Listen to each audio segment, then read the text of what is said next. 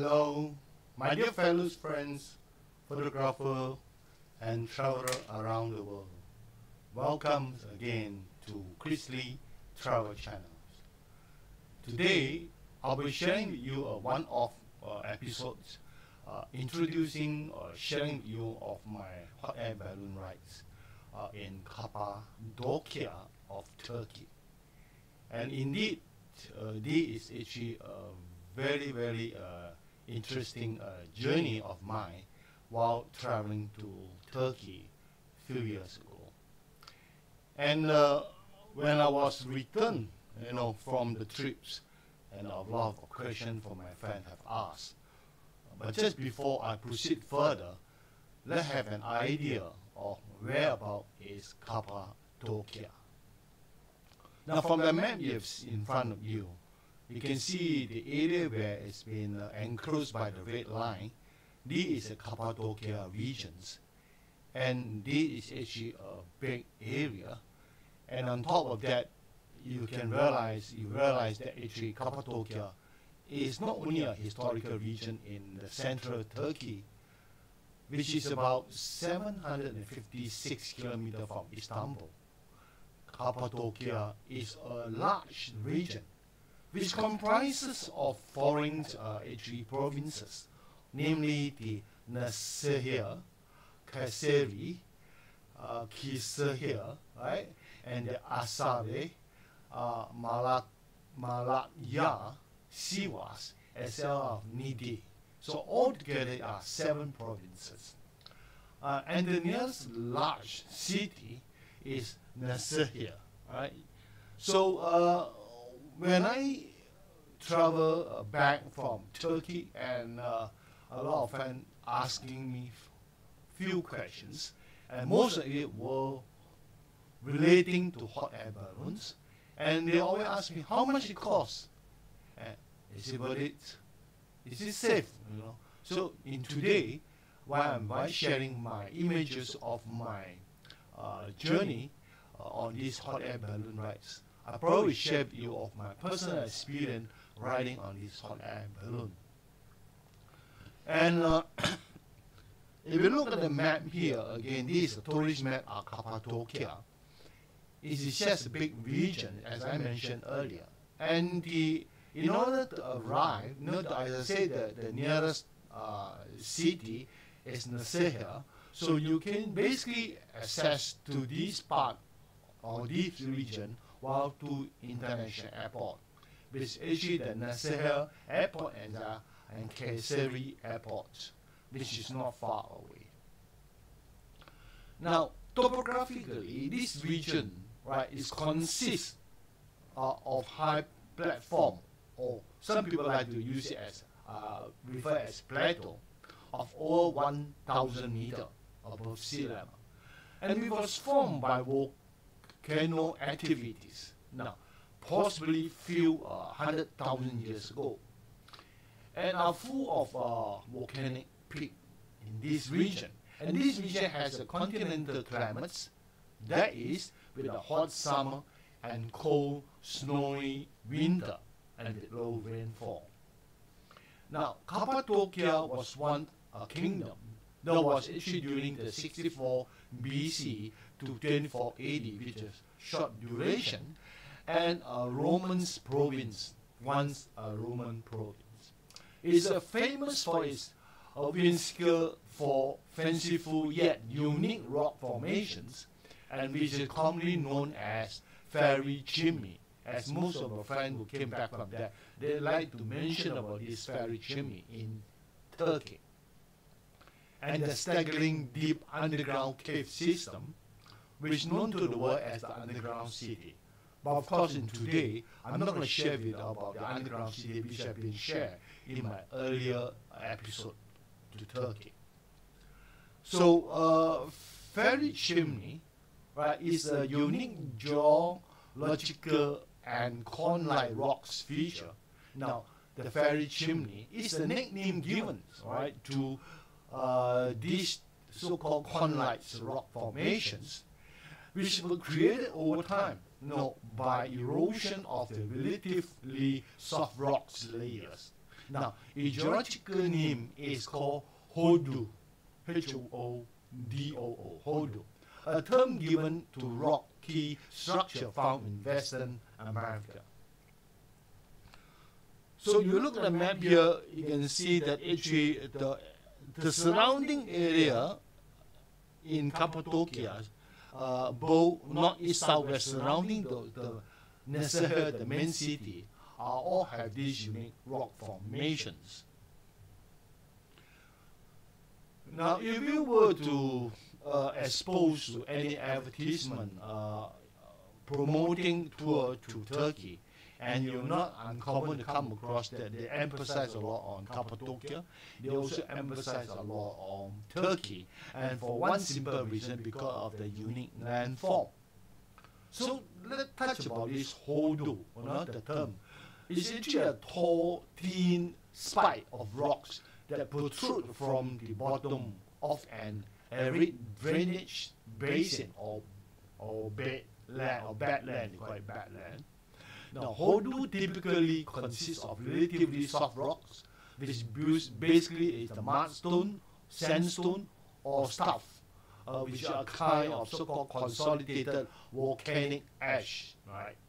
And, and are topped by a harder layer and less easy eroded uh, rock, which protect the soft layer, right, from weathering and erosions. Now, the size, shape, and color of hoodoos vary, right?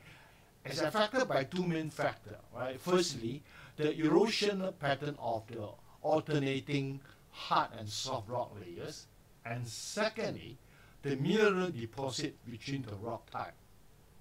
So besides the natural attractions in Cappadocia, it's also one of the world's most desired destination for hot air balloons. Right now, the which provide you a panoramic view of this unique uh, landform, and the world-renowned underground city and as well the cave dwellings are also found in these regions abundantly. But of course, in today, as I mentioned earlier, that our focus is only on the hot air balloon ride, right? And which I'm going to share with you. So before I proceed with the images of my hot air balloon ride, and of course, I need to answer the question that I posed to you in the earlier slide, which basically how much it costs. Now, formulation, you know, uh, is costs about RM 100 or equivalent to uh, USD 25 dollars.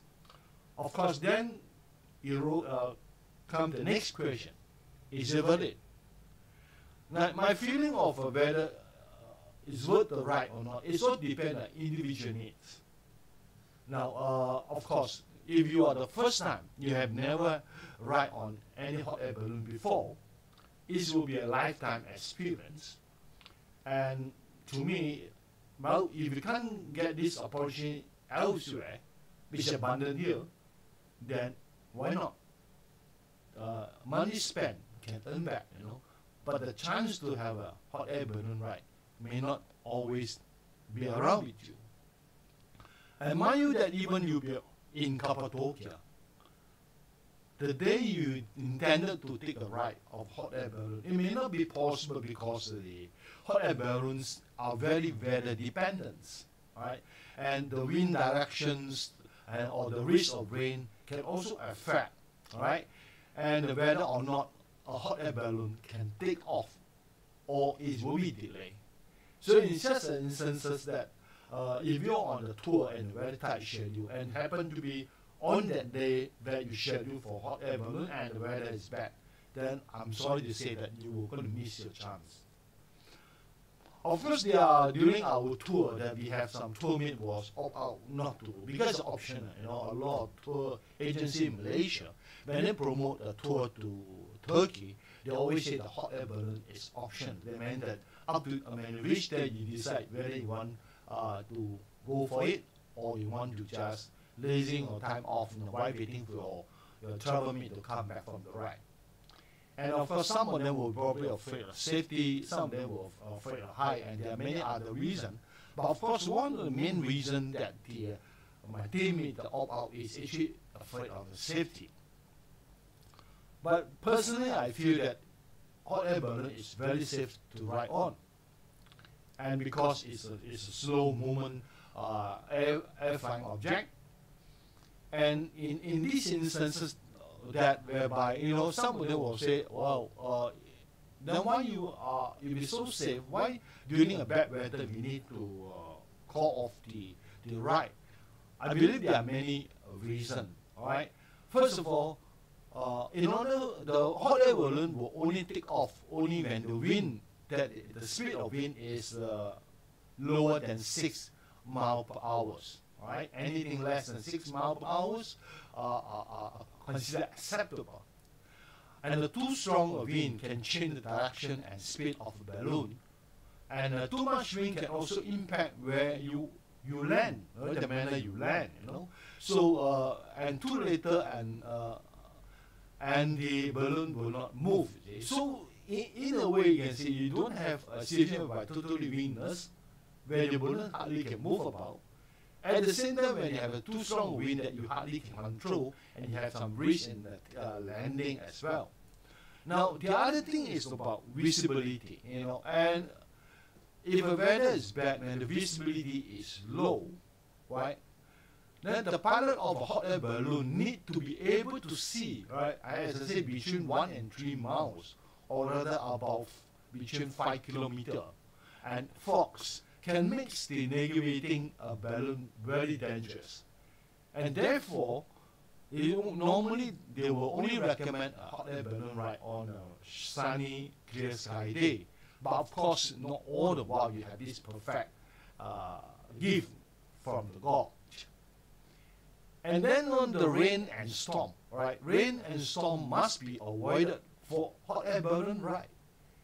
And you can't run away from them anyway, uh, like a plane. Rain, for example, can bring the temperature of the balloon down, make it much harder to control. And potentially, uh, it will come down, right? So all stormy weather is avoided when trying, right, by flying, sorry, even if it's an hour ahead. And uh, so I will leave it to you at the end of this episode to decide, after looking at my images and to say whether is it worth the ride for paying uh, USD $25 Right? As far as safety is concerned, I should say that it's very safe because if the condition is not safe, the weather is not permit, they will not take off. Right? And uh, there are some tips before I share my image for the first timer. Uh, I was first timer, and uh, these are useful tips that when you prepare for your ride. First of all, use the restroom before getting on hot air balloons. There's no toilet in the balloon, in the ba basket of the balloon that is carrying you, right? Uh, wear warm clothing, because since it's going to get into the air, and the higher they go, the colder it will be, right? So this is an advice. And right with a half full stomach. Oh, if you have a full stomach, and uh, it can get you uncomfortable, or in an empty stomach, neither is a good thing, right? So this is something recommended and uh, take a camera uh, or a binoculars. You have one. Basically, I think nowadays everyone will carry with a handphone, a smartphone, which actually equip a very good uh, camera functions. So I think I need to worry about whether you will carry along with you uh, cameras. So uh, we're going back to this map again. You can see that uh, we are actually uh, arriving at this uh, main city, and then we move on to this uh, tourist spot. And uh, now this is the, actually the, the route that taken by my hot air balloons. And the blue circle is actually the launching pad, the area where we take off. And the red line is indicating that we are moving a circle uh, back to our original uh, launching ground. And you look at this map, against the surrounding all are very unique. Uh, the landform this I mentioned to you. Of course, the shape uh, vary from region to regions. So when we are loading into the hot air balloon, we work, we woke up in the very early morning, and uh, I believe we reached there about 6 a.m. in the morning, and the surrounding is still pitch dark. And of course, we're given a light uh, refreshment or so-called light breakfast uh, before we uh, ride on uh, the hot air balloons. And uh, it's, it's quite a big one. Uh, our one is quite, quite a big size hot air balloons. We can accommodate about 20 uh, passenger and on top of the pilot and his assistant. And it will take a while. Now, should take a while for the hot air balloon to blow up to its actual side and be ready to uh, take off. And generally, uh, if I'm not mistaken, we have waited about, about 20 minutes or, or more uh, before we are okay to say, come, uh, take a take a take a seat, no seat anyway, take a space uh, in the hot air balloon uh, basket. And this is actually the similar size of the basket of hot air balloon we were in.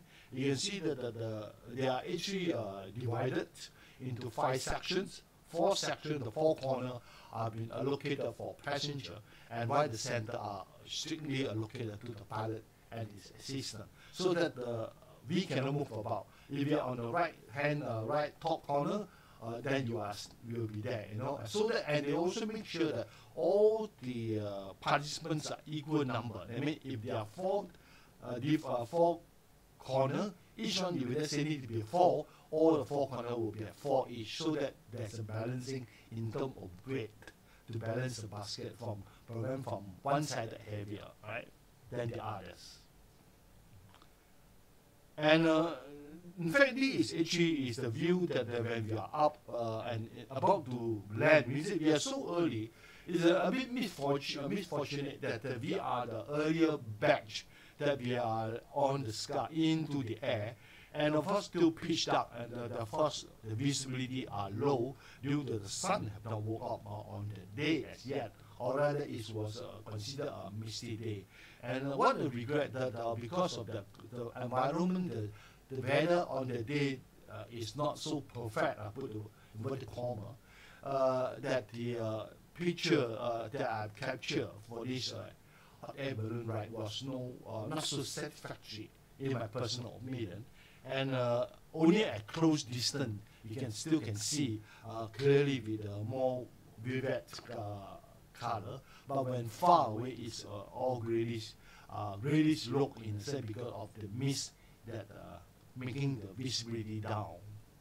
So uh, this is actually uh, on the way, we are on the way returning to our luncheon pack and you can see the three of the hot air balloon are in the mid of uh, preparations, you know, for launching. And uh, these two of them as well, you know, that, and while looking at the colorful hot air balloons, you can see the topography, geography, uh, the landscape around these regions. And now these two balloons, hot air balloons, are ready for launching. Right, but we are actually on the return journey. And this is taken while we are up above the sky. And someone will also ask me, uh, how high did the balloon fly? And to my understanding, the hot air balloons uh, seldom fly very high, and uh, at most probably about half half kilometer or 500 meter above sky. But then that is not very common too. And uh, they're trying to fly low is for one simple reason. Uh, that you can have a better view of the surrounding because it's far up, far up in the sky. You can see clear of the topography and the landscapes. So ideally, and also they will try to fly low, uh, probably a 100 meter, 150 meter above ground. That is the usual height the hot air balloon above uh, will fly, right? So uh, this is some of the, we are, as I said, we had a few uh, early uh, balloons on the air, and therefore uh, not many, and uh, we are actually quite isolated from the, uh, the launching pad of other areas. I understand there's one spot, the launching pad have more than 50 hot air balloons in our, in our area, is uh, less than 10, and we had a few who kick off in the early morning. So now from this image, you realize uh, that now, uh, you know, is is uh, quite uh, no, you can't see very. Uh, we can't get the vivid color except the hot air balloon is nearer to us. But further away, you can see the background is all uh, uh, blurrish and uh, uh, due to the uh, the mist, the early morning mist. Uh, this is one of the crow's view. Uh, we are riding side by side with these uh, balloons.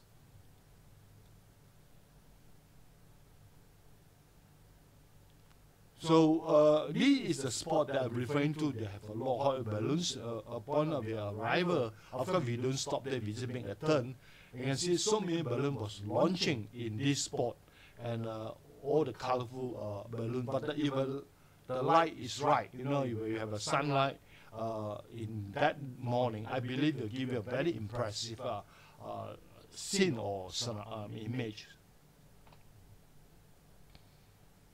So in this image, you can see that the number of balloons, but because of the distance away, the balloons are so far, it looks like it's whitish in color. But in actual fact, that it's all colorful. Uh, all these balloons are very colorful. Unfortunately, uh, unable to accept the close one, being able to see the color of the balloons. I believe that uh, in Tokyo, these regions, in the fine weather, and during the hot peak season, that every day there could be more than hundreds of hot air balloons launch every day, daily, right? And some of them even can launch in, in the evening. And I actually went to the website and checked itself that uh, they even provide uh, the hot air balloons ride uh, for more than an hour. Uh, just to inform you, our the ride is only for 60 minutes only. In fact, the actual time that we on in the sky on the in the sky is only uh, 45 minutes. But of course, they say it's one hour ride, you know. And but there are option there are option for hot air balloon ride of two hour or three hour or even longer. But of course, all this subject to also the condition of the weather on that day. Of course, the longer the air hot air balloon ride, of course, the fare will be correspondingly increased. So more images of my hot air balloon ride in the early morning. You can see that, that the, the sky is still dark uh, when we uh, launch, uh, take off, right, from the launching pad.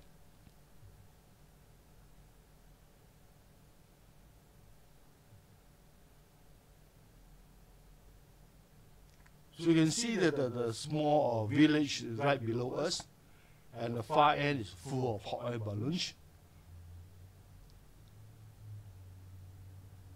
To pay attention on the landscapes, uh, landform in these regions, which actually the main purpose of why you're taking the air hot air balloon ride is because I want to experience and to see with their own eyes the uh, unique landform in Cappadocia.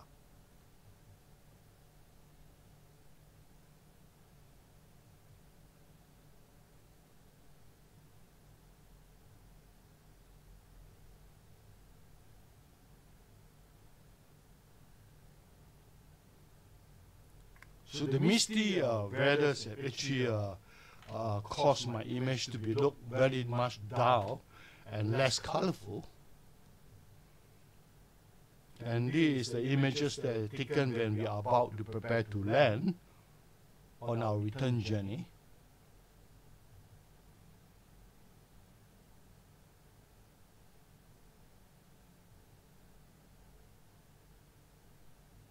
And while flying over this uh, unique landform, you need that there's some cave.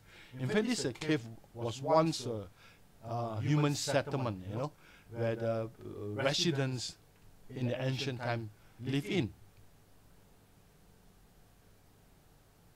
Can you see the uh, uh, pinnacle, the sharp rock, the spark in protruding above ground from this image?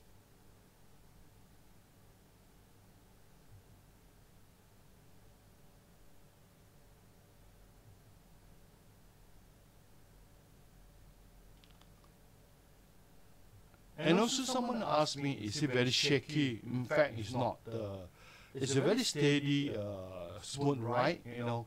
There's no jerking or shaking, you know. The balloon just flew slowly and then uh, make a turn back. And of course, that uh, if uh, phobia of height, you know, then of course then prob- probably it's a challenge to you.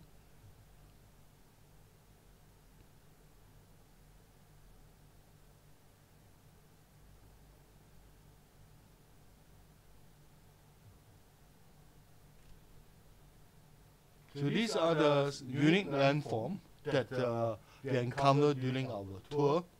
Uh, although it's only cover a small area, but again you can see that uh, it's different from region to regions.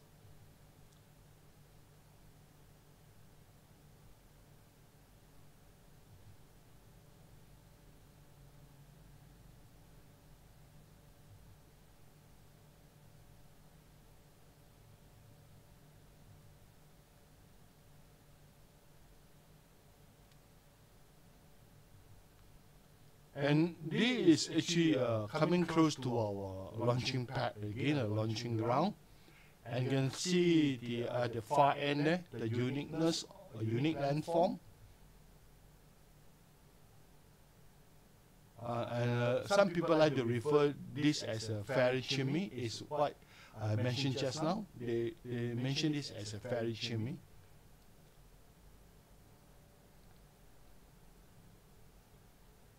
we did tour this spot uh, a, a day before, so uh, this is actually our second day, but the second day is early morning on the hot air balloon ride in Cappadocia.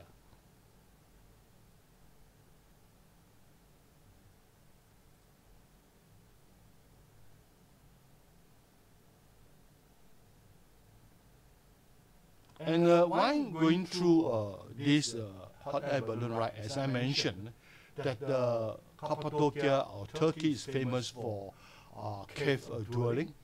So you can see beside the, the row of those uh, buildings that are constructed, you know, uh, right in front of this image. At the far back, you can see a lot of dwelling was built uh, next to the cliff of a hill, and some even dug into the cliff, the surface of the cliff. And you can see many of these uh, protruding uh, uh, rocks. They all are being dug with many, many holes. And these holes are believed to be either the door or the windows of the cave dwelling. So these are, again, you can find a lot of uh, cave dwelling in this image.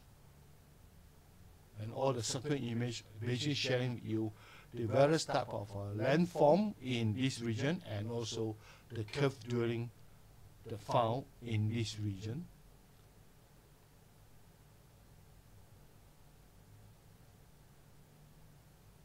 So can you see even the door, built-in door and window in this uh, image?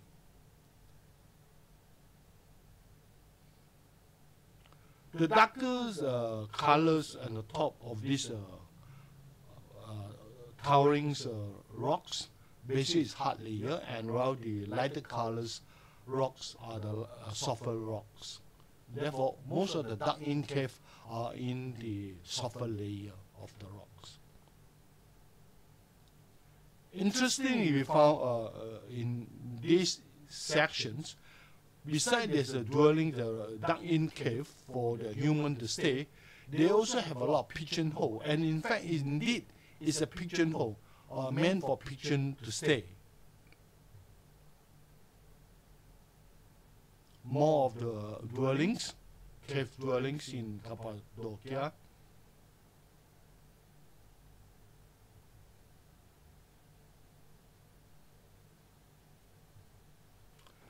So, I have actually basically I've shared with you my journey uh, to this part of the world. And if you uh, share, I would like you to share with me your, in your opinion, is it worth it?